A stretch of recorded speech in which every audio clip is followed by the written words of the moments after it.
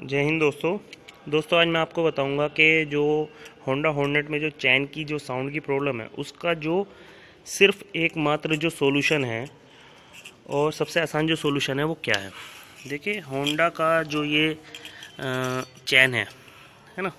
यहाँ से इसमें साउंड आती है। जब भी ये घूमेगी तो अजीब सी एक साउंड आएगी और ये आती ही रहेगी। हालाँकि मैंने इसके लिए होंडा की साइट पर भी कंप्लेन लिखवा दी है, लेकिन उनकी तरफ़ से भी अभी तक कोई इसका कोई सोल्यूशन मुझे अभी तक नहीं बताया गया है। सर्विस सेंटर पे मैंने कई लोगों से बात करी, लेकिन उन्होंने भी मुझे कोई सोल्यूशन इसका नहीं बताया। तो इसका सबसे अच्छा सोल्यूशन जो मुझे मिला है और अभी मेरी साउंड बिल्कुल ख़त्म हो चुकी है, उसका करना क्या है आपको कि कोई भी आप ल्यूब्रिकेंट लीजिए, ये चैन ल्यूब है, ठीक है ना? और इसको जब तक आपकी पहली सर्विस ना हो ठीक है ना? जब तक आपकी पहली सर्विस ना हो, आपको हफ़्ते में कम से कम तीन बार ये लुब्रिकेंट ये चैन ल्यूब आपको अच्छे से इस पर स्प्रे करना है। इस तरीके से, ठीक है ना? आपको अच्छे से इसको लुब्रिकेंट करना है। चैन बिल्कुल भी सूखी नहीं होनी चाहिए।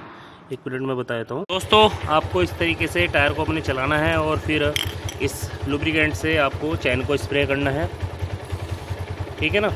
बस आपको सिर्फ़ सिंपली यही करना है और हफ़्ते में कम से कम तीन बार आप इसको करें, क्योंकि अगर आप इसको एक बार करेंगे तो दूसरे, तीसरे दिन फिर से आवाज़ आनी शुरू हो जाएगी।